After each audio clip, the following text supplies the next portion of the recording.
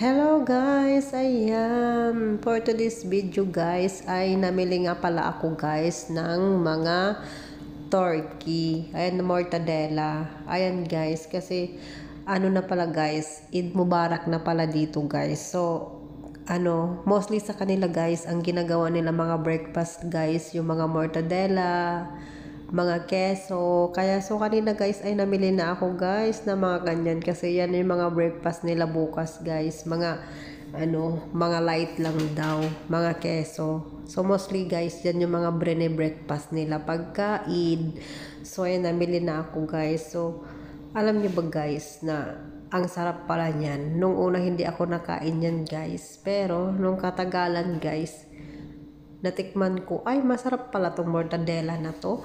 So, paborito din yan ng alaga namin guys. So, ngayon bukas guys, yan na yung every breakfast nila. So, yun lang guys ha. Thank you for watching. Eid Mubarak sa lahat ng mga Muslim.